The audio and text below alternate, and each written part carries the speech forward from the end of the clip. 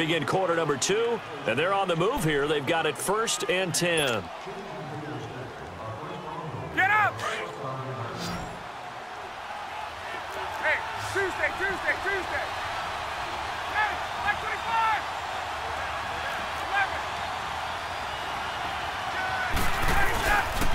11. Now Ryan going to give it to Freeman. And down he goes, taking it inside the 10, just shy of the 5 at the 6.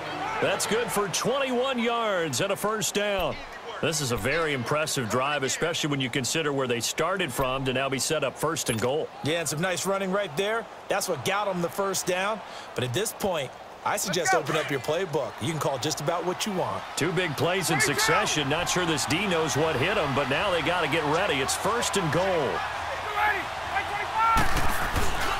They'll run here with Freeman.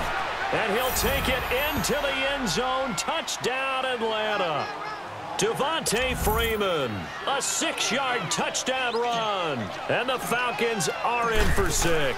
I know we don't talk about it enough, but the intelligence level of the guys up front blocking, the offensive linemen, maybe the smartest guys in football overall.